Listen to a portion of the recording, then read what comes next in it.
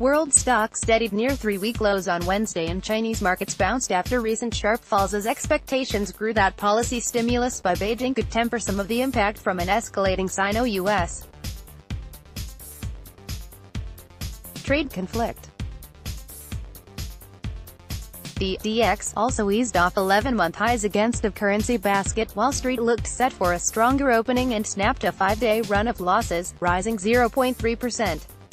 Its rebound was fueled by a bounce of almost 1% in shares off six minus one-half month lows, following gains in Hong Kong's, Seoul's, and the mainland Chinese. Assets perceived to be safe, such as the and government bonds of Germany and the United States, took a step back after hefty recent rallies. I suspect safe havens such as bonds and treasuries could be put to the test as risk sentiment shows signs of stabilizing. Commerzbank strategist Rainer Guntermann said, one catalyst was the expectation, fueled by a Chinese central bank paper, of cuts to banks' reserve requirement ratios RRR, to boost market liquidity and loosen monetary conditions. China's cabinet on Wednesday pledged to use targeted RRR cuts, with cuts now seen as a matter of time.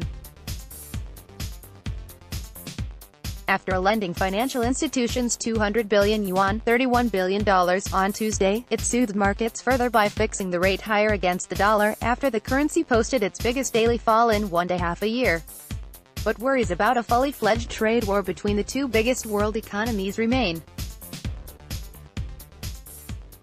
Washington is threatening tariffs on $200 billion more of Chinese goods and a White House trade advisor said Beijing was underestimating President Donald Trump's resolve to impose more tariffs. Tit-for-tat tariffs would hit world growth, company profits and price stability at a time when several big central banks, notably the U.S., are in policy tightening mode.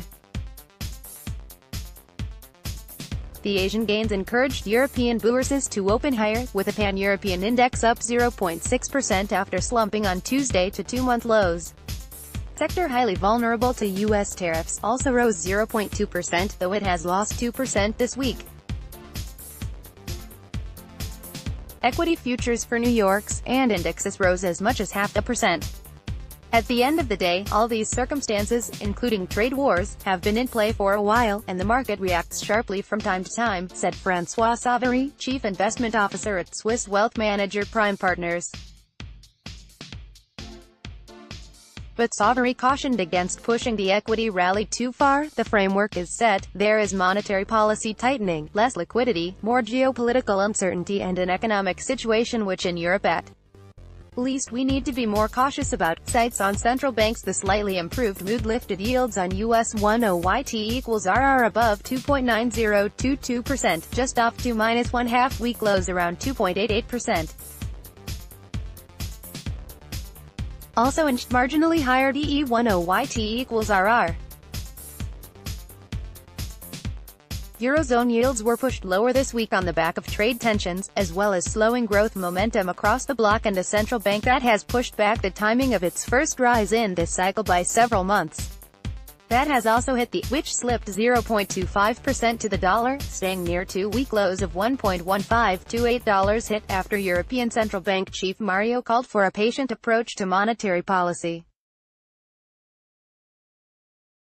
Draghi spoke at a banking forum in Sintra, Portugal, where he is due to appear again on Wednesday alongside Fed Chair Jerome, Bank of Japan Governor Haruhiko and Reserve Bank of Australia Governor Philip.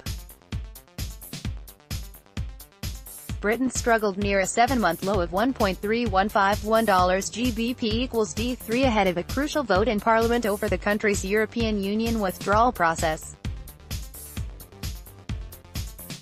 As the dollar's rally stalled, emerging currencies such as the Mexican MXN equals D3 and South African ZAR equals D3 won some reprieve. But analysts told clients that with the risk to trade firmly in place, we don't look for a material and long-lasting rebound in higher beta and emerging market currencies. An early rebound in and also faded, though futures managed to stay above $75 a barrel before a producers group. OPEC member Iran has said a deal to raise oil output is unlikely. While most metals prices bounced, copper slipped back to three-week lows after data showed supply remained abundant. U.S.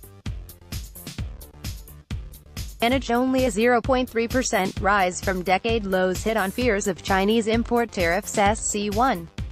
Original post